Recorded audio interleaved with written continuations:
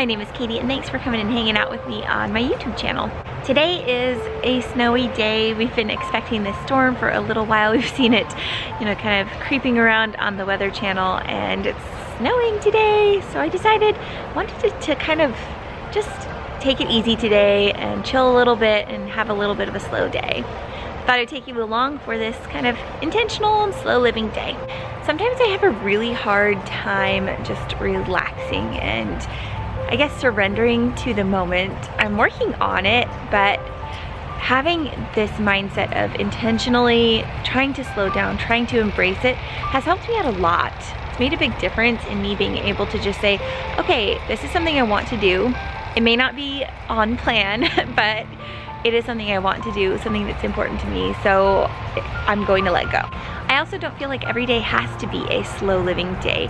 Sometimes we're just busy and being busy is good. But when we want to slow down, when we know that we need to slow down, when our body is telling us to slow down, I think those are the moments when it's important to just embrace, accept, and enjoy. Because we were playing outside and went on a little walk, my kids were having a little snowball fight and stuff like that. Even though there's just a tiny bit of snow, they managed to scrape enough together. Uh, I didn't get to go on my walk earlier, so I'm gonna go on my walk right now.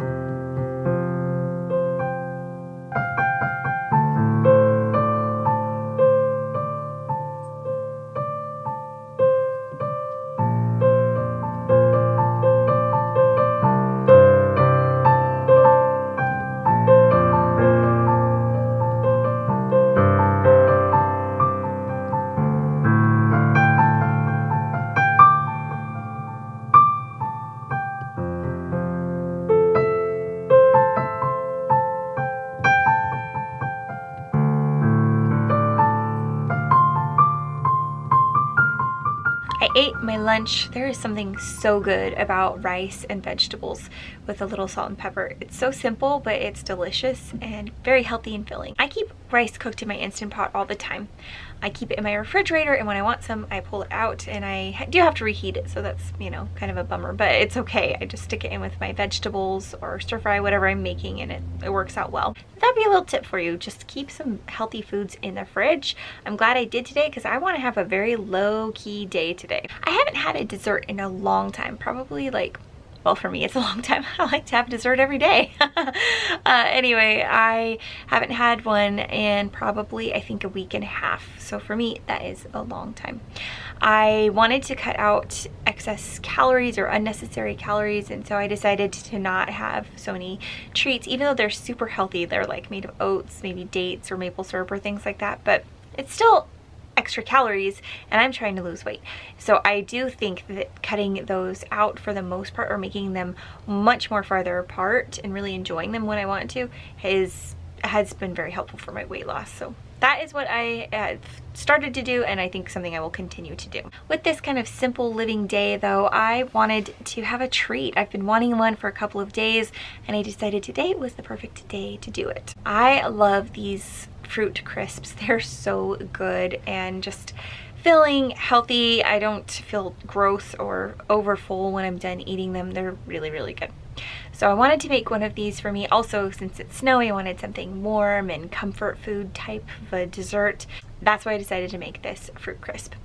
I believe I've made it on the channel before, so I will find that and link it in the description box below, so check that out if you want the full recipe. I'm not going to uh, leave the recipes for any of these because they're all such simple meals or I already have it created for you. So check that out.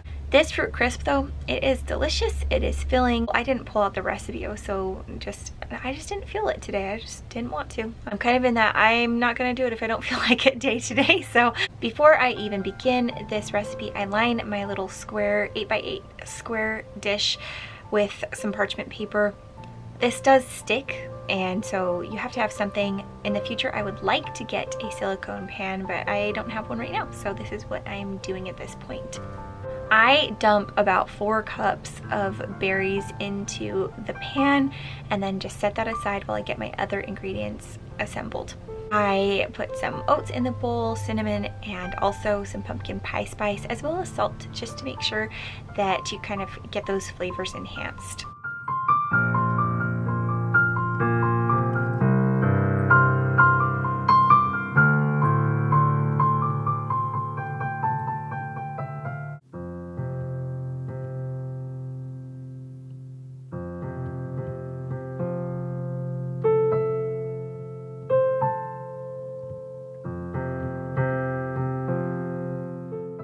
I stir that up and then set that aside. To create the wet mixture, I just add together some maple syrup, cashew milk. I have the recipe for that linked in the description box below, as well as some vanilla extract and peanut butter powder. Now I love peanut butter powder and peanuts and peanut butter. I love all things peanuts.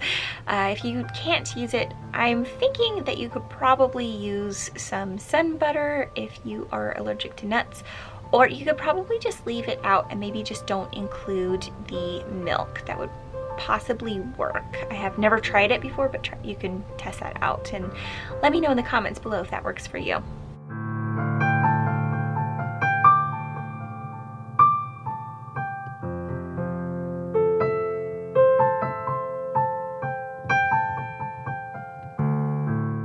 Once you have the wet mixture all combined, you just need to stir that in with your oat mixture and then spread that over the top of your berries.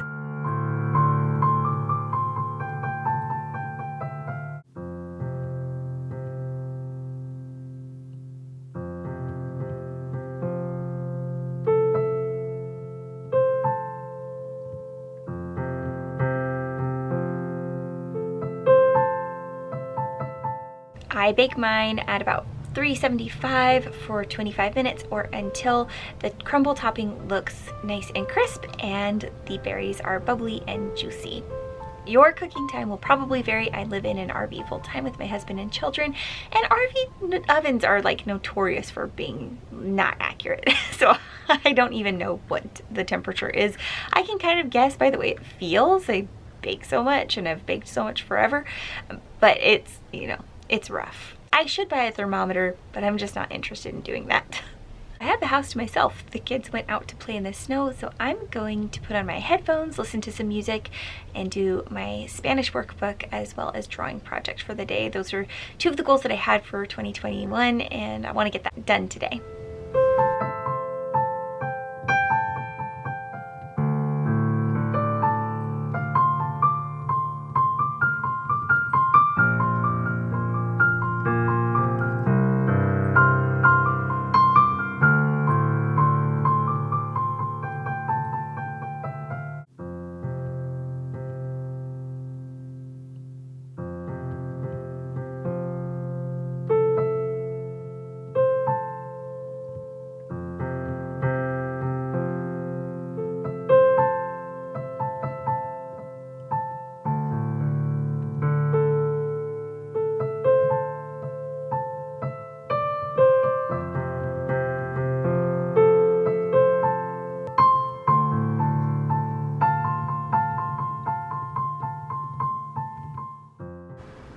This is probably the number one reason why I'm glad I decided to have a slow and intentional living day today. I needed this in my life.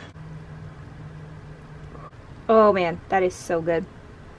While I'm waiting for the crisp to cool off, I am going to take a rest. I learned a long time ago that sometimes when my body wants to rest and is just feeling sluggish and all of that, it's best to just to go take a rest. I didn't used to give myself that luxury. I tried to power on, but the more I learn about myself and how to treat myself well, the more I realize that if I'm tired, it's best to take a little, maybe 20 minute power nap. I feel so much better when I'm done and I am a better mother and wife. I'm not grumpy, I'm not tired, and I've given my body what it needs, so I feel better. I think that Tasha has slow, intentional living down. And so does he. Who doesn't want to snuggle up in their favorite lint-covered blanket every day? Yeah, She's such a sweetheart.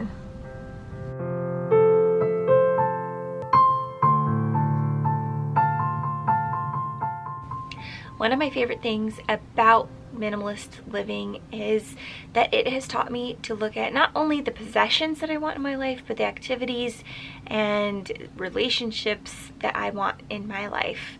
It has helped me to examine my feelings and decide when I feel that something stresses me out and whether I can change myself so that I'm not stressed out by that thing or even just change the general atmosphere or whatever so that I don't feel stressed out by that stuff.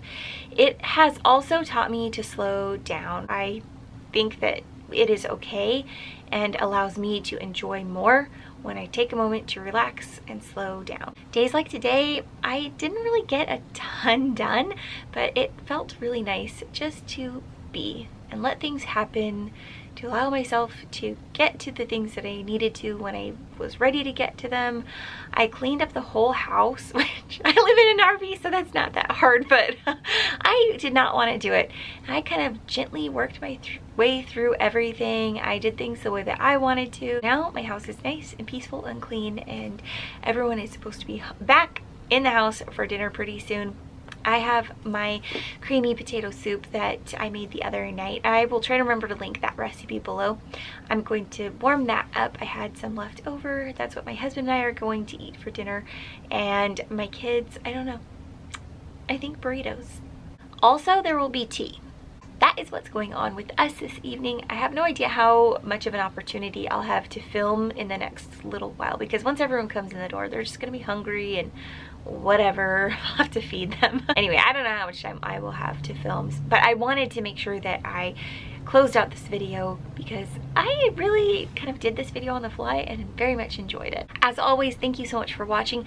You know, you guys are amazing at giving my videos thumbs up. Like, thank you so much. It really helps to grow the channel and I want that so badly. I would very much appreciate you subscribing and liking and mwah, thank you very much for doing that. Hope you have an excellent day. Remember, it's all about the experiences, not the stuff, and I'll see you in the next video.